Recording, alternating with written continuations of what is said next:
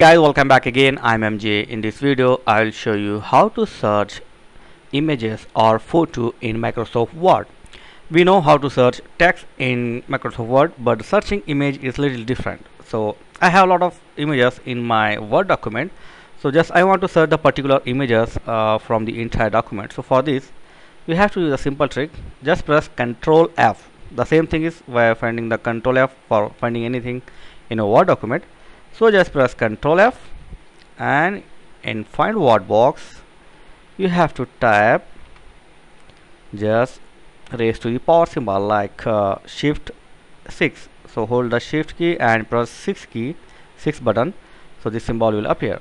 So this is the raise to the power symbol. After this just press G. Okay done. I'll zoom in.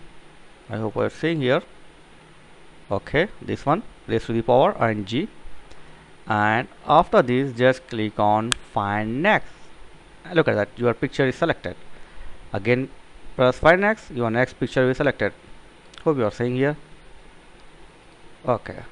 The only picture will selected when you click the find next.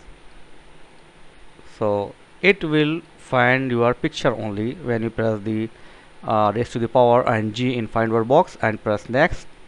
Find next it will find the picture only. Look at that that's very simple. Okay. So that's it. It's very simple to find a picture in Microsoft Word document a Word document. So thanks for watching. See you in next video. I hope this video help you. Please don't forget to like comment and subscribe. Thank you very much